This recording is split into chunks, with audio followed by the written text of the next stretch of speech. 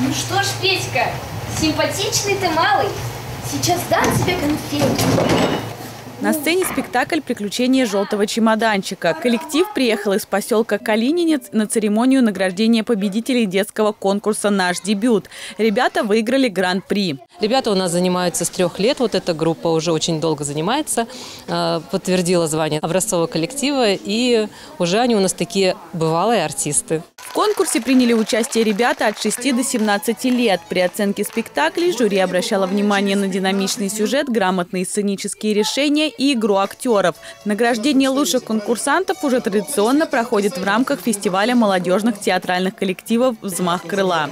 На его открытии зрители смогли увидеть и видеовизитки участников фестиваля. Фестиваль зарождался 9 лет назад как маленький проект, который разросся уже большими масштабами. Мы обрели огромное количество друзей, коллективов, участников нашего «Взмаха крыла». И что самое важное, мы в процессе решили учредить еще маленький мини-конкурс. Это наш дебют, в котором самые юные участники могли проявить себя.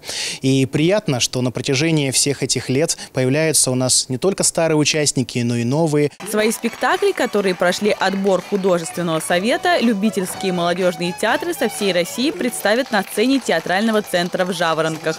Екатерина Крамер, Илья Павлов, телекомпания «Одинцова».